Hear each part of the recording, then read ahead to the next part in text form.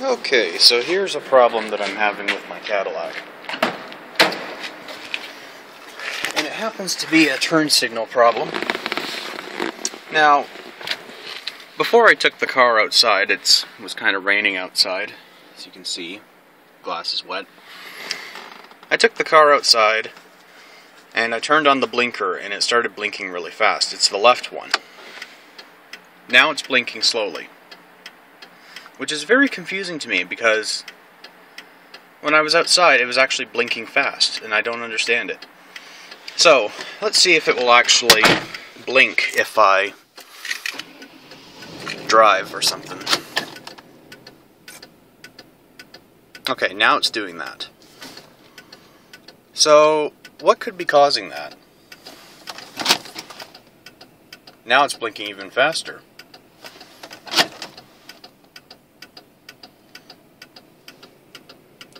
You know, like, I, I don't understand it.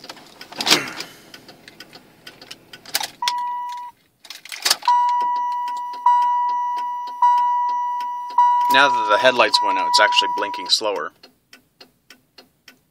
Now, it's kind of fast. This is how it's supposed to sound like.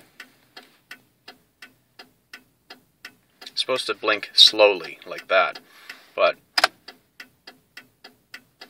I don't understand. Anyway, let's take a look. And it gradually slows down, so I don't understand what it's doing.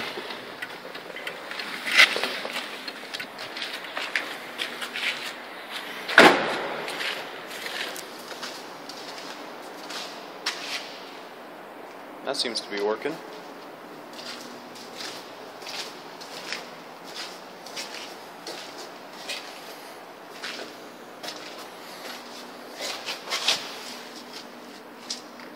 Seems to be working. This bulb here seems to be brighter than that one.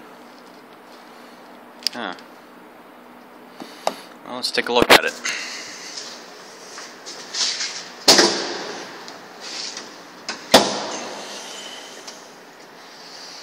so good to have a flashlight on your phone when you can see.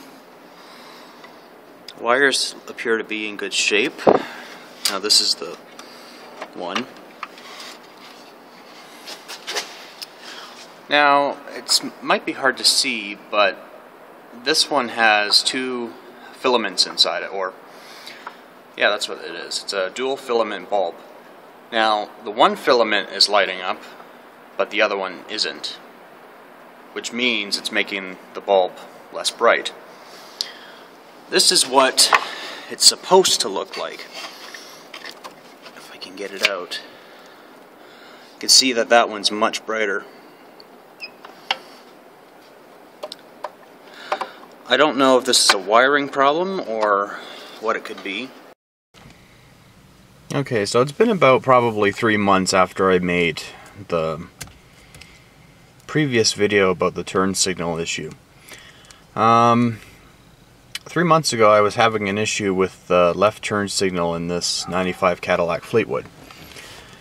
Um, every time when I would turn the left signal on it would blink really fast which would be an indication that the bulb was burned out. Unfortunately, the bulb wasn't burned out. It was perfectly fine. So that led me to believe that there was an electrical problem. Uh, I also checked the bulb and it appeared to be dimmer than the other ones. So there was definitely a problem there. Well, I'm happy to say that I finally fixed the problem.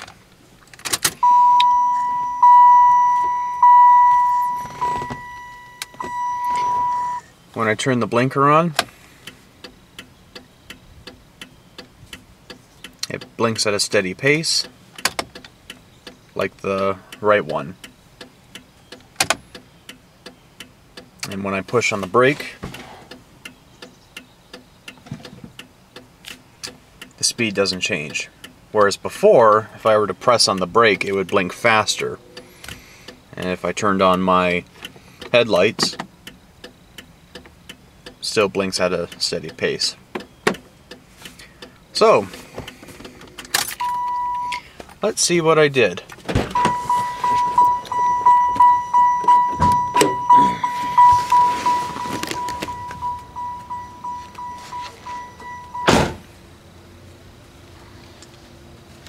And I wouldn't have known unless I took one of the other bulbs out of the other sockets.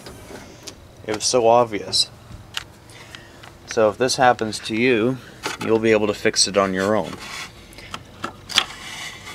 Now this is the socket that I repaired, but I'll show you what I did by removing the other bulb. Uh, let's see. There it is. Just gotta get it out here.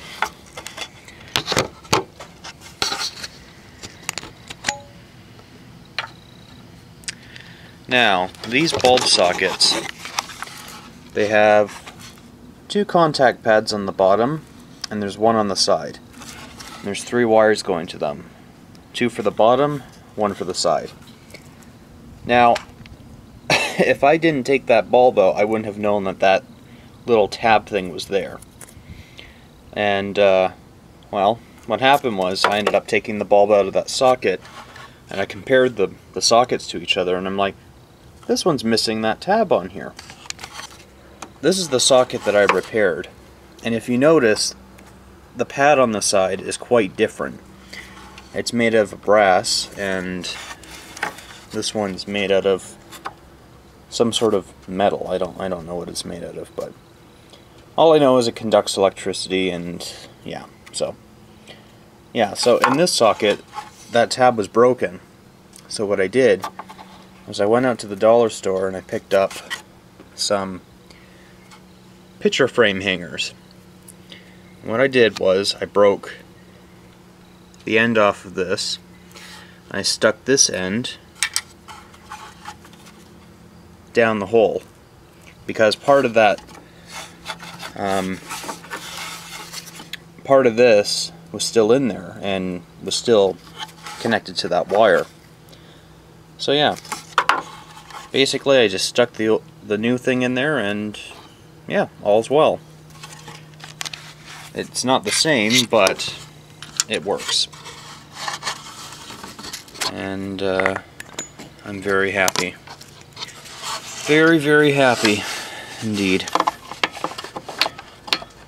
And I thought I was going to have to replace the whole wiring harness, which would have been quite an ordeal. Because I don't know where the hell it starts and ends. Well, I know it ends where the bulbs plug into, but as far as that, I don't know. It's back to normal, which is awesome. yeah. And that's how you fix the light bulb socket on a 95 Fleetwood, but you can also do this on a 93 to 96 if you have the same problem.